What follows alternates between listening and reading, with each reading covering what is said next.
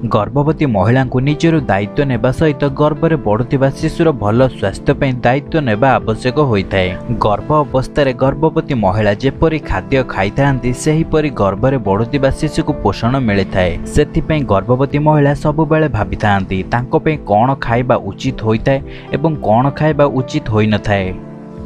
ଆଜି ଆମେ ଏହି ଭିଡ଼ିଓରେ ଜାଣିବା ଗର୍ଭବତୀ ମହିଳା ପିଜୁଳି ଖାଇବା ଉଚିତ ହୋଇଥାଏ ନା ଉଚିତ ହୋଇନଥାଏ ଏବଂ ଜାଣିବା ପିଜୁଳି ଖାଇବା ଦ୍ୱାରା ହେଉଥିବା ଗର୍ଭବତୀ ମହିଳାଙ୍କୁ ଲାଭ ବିଷୟରେ। ଏହା ସହିତ ଜାଣିବା ପିଜୁଳି ଖାଇବା ପୂର୍ବରୁ କେଉଁ କଥାର ସବୁ ଧ୍ୟାନ ରଖିବାକୁ ପଡ଼ିଥାଏ। ଗର୍ଭଧାରଣ ସମୟରେ ପିଜୁଳି ଖାଇବା ସୁରକ୍ଷିତ ହୋଇଥାଏ। ଗର୍ଭବତୀ ମହିଳା ପିଜୁଳି ଖାଇବା ଦ୍ୱାରା ଉଭୟ ମା ଏବଂ ପିଲା ପାଇଁ ଲାଭଦାୟକ ହୋଇଥାଏ। ପିଜୁଳିରେ ଫଲିକ୍ ଏସିଡ୍ ପ୍ରଚୁର ପରିମାଣରେ ରହିଥାଏ ଯାହାକି ଗର୍ଭଧାରଣ ସମୟରେ ଭ୍ରୂଣର ବିକାଶ କରିବାରେ ସହାୟକ ହୋଇଥାଏ। ଏହା ସହିତ ଶିଶୁର ଶରୀରରେ ନର୍ଭ ସିଷ୍ଟମ ବା ଶିର ପ୍ରଶିରାର ଠିକ୍ ବିକାଶ କରାଇବା ସହିତ ଠିକ୍ ରୂପେ ନିୟନ୍ତ୍ରଣ କରିଥାଏ।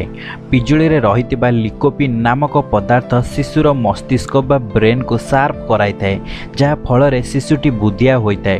ଏହା ସହିତ ଶିଶୁର ଶରୀରରେ କ୍ୟାନ୍ସର ପ୍ରତିରୋଧକ ଶକ୍ତିକୁ ବଢ଼ାଇଥାଏ ଯାହା ଫଳରେ ଶିଶୁଟି ବଡ଼ ହେବା ପରେ କ୍ୟାନ୍ସର ପରି ରୋଗ ହୋଇନଥାଏ।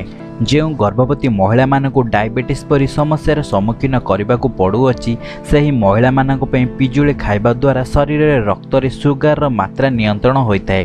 ଏହା ସହିତ acidity dehydrate stomach pain vomiting ପରି ସମସ୍ୟାରୁ ଗର୍ଭବତୀ ମହିଳା ପିଜୁଳି ଖାଇବା ଦ୍ୱାରା ରକ୍ଷା ମିଳିଥାଏ।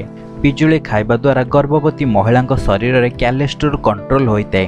ଏହା ସହିତ ପିଜୁଳିରେ ରହିଥିବା କ୍ୟାଲସିୟମ କାରଣରୁ ଗର୍ଭବତୀ ମହିଳାଙ୍କ ପେଟରେ ବଢ଼ୁଥିବା ଶିଶୁର ହାଡ଼ ଏବଂ ତ୍ୱଚା ଠିକ୍ ରୂପେ ବିକଶିତ ହୋଇଥାଏ। ଏବଂ ପିଜୁଳିରେ ରହିଥିବା ସୋଡ଼ିୟମ ମା ଏବଂ ପିଲାର ଶରୀରର ହର୍ମୋନ୍କୁ ସନ୍ତୁଳନ ଠିକ୍ ରୂପେ କରାଇଥାଏ ଯାହା ଫଳରେ ଶିଶୁର ଶରୀର ବିକାଶ ଠିକ୍ ରୂପେ ହୋଇପାରେ। ନାକ କାନ ପାଟି ଆଖିର ବିକାଶ ଠିକ୍ ରୂପେ ହୋଇପାରିଥାଏ ଏବଂ କୌଣସି ପୋଷଣ ଅଭାବଜନିତ ବିକଳାଙ୍ଗ ଶିଶୁ ଜନ୍ମ ହୋଇନଥାଏ। ପିଜୁଳିକୁ ଗର୍ଭବତୀ ମହିଳା ନିଜ ଖାଦ୍ୟରେ ଗୋଟିଏ ପାଚିଲା ପିଜୁଳି ନଚେତ୍ ଜୁସ୍ କରି ପିଇବା ଦ୍ୱାରା ପିଜୁଳିରେ ରହିଥିବା ଆବଶ୍ୟକ ତତ୍ତ୍ୱ ଶିଶୁ ନିକଟରେ ସହଜରେ ପହଞ୍ଚିଥାଏ। କିନ୍ତୁ ଗର୍ଭବତୀ ମହିଳାମାନେ ଆବଶ୍ୟକଠାରୁ ଅଧିକ ପାଚିଲା ପିଜୁଳି ଖାଆନ୍ତୁ ନାହିଁ। କାରଣ ଆବଶ୍ୟକଠାରୁ ପାଚି ଯାଇଥିବା ପିଜୁଳିରେ କାର୍ବନ ହାଇଡ୍ରୋଡ୍ ଗ୍ୟାସୋଲିନ୍ ପରି ହାର୍ମଫୁଲ୍ ବା ଶରୀରକୁ ହାନି କଲା ପରି ତତ୍ତ୍ୱ ମିଳିଥାଏ ଯାହାକି ଗର୍ଭବତୀ ମହିଳାଙ୍କର ପେଟରେ ରହିଥିବା ଶିଶୁ ପାଇଁ ହାନିକାରକ ହୋଇଥାଏ।